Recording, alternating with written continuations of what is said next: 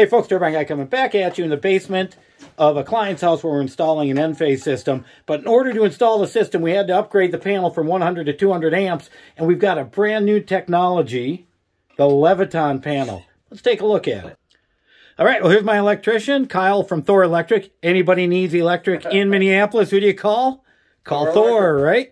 And right here is a new technology panel, the Leviton panel. So why don't you tell me what's different about this than the others? So with the Leviton panel, um, it is a smart panel. You can buy special breakers that will go in here that you can hook to your Wi-Fi. And I think you can do things like see how much power a certain piece of equipment is using. You think you can um, shut breakers off, but what I've been told is you cannot turn them back on. You actually have to physically turn the breakers back on. Probably a safety thing. Um, the wiring actually lands on this right alongside the breakers and no wires actually land on the breaker. So any homeowner could easily just take a breaker, pop it out themselves somehow. Can't get my hand in there. So you can just pop the breaker out,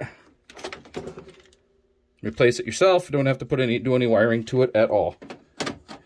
The wires just land on the bus in front of the breaker. So that's kind of the big upgrade and the big difference. Instead of actually running the wires to the breakers, the wires are going to the buses on the sides. Turn that one back on. So how long has this uh, type of panel been out? It's been out for about six, seven years, but at first they did not make the smart breakers, so I never really used them until recently because now the smart breakers are available. I have not actually installed a smart breaker yet, but I always give a, uh, the customer the opportunity to do that if they wish. There you go, folks. A brand new style panel. Leviton just got in the business of it, and they are making smart panels for homes. Turbine Guy, signing off.